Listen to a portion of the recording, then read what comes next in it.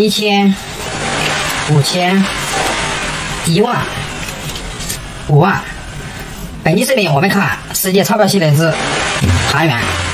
韩元是大韩民国的货币单位，由韩国央行、韩国银行发行。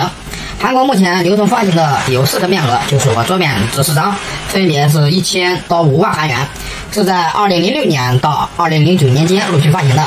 目前汇率上，人民币一元约合一百九十二韩元。这张最高面额的五万韩元，约合人民币是二百六十元。韩元纸币是典型的传统型的钞券，韩国自古受中国巨大影响，其纸钞也处处体现了中华文明，特别是儒家、释家思想的传承。韩元正面历来都是著名的一些历史人物，例如大叔李晃、李耳、史忠等等。这些名人在韩元纸币上长达接近六十年，经历多次改版，均未改变，可见其历史地位和功绩。钞票的背面则与采用的是与正面人物有所关联啊，一些建筑、器皿、画作等等。接下来的时间，我们就来看看这四张韩国目前正在流通的纸币。这张蓝色的钞票是一千韩元，一千韩元正面是被公认为是朝鲜儒学泰斗、朝鲜中期著名思想家。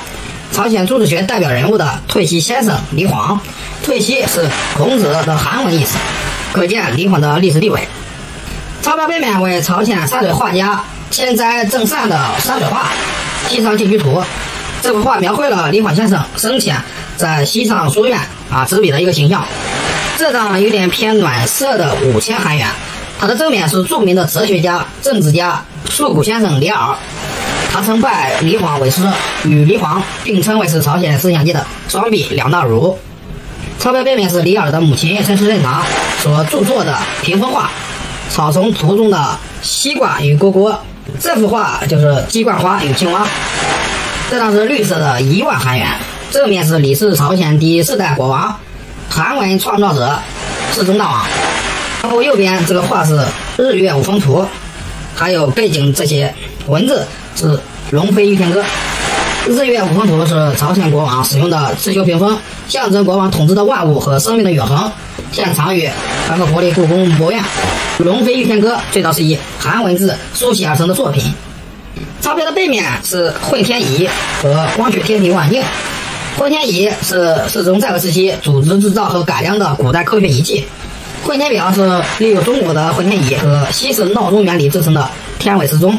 现藏于高丽大学博物馆，为韩国第二百三十号国宝。最后，我们看韩国最高面额的五万韩元，在二零零九年六月二十三日，韩国增发了五万这个面额。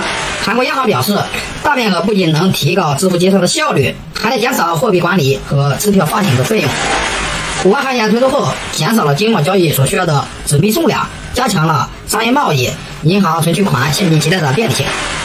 五万韩元的正面人物是。韩国啊，历史上钞票历史上的唯一一个女性，她是朝鲜时代女书法家申世任堂。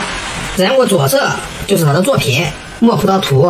申世任堂既是孝顺的女性、贤惠的妻子，也是伟大的母亲和卓越的艺术家，被后人看成是韩国最杰出的女性代表人物，是负责的典范。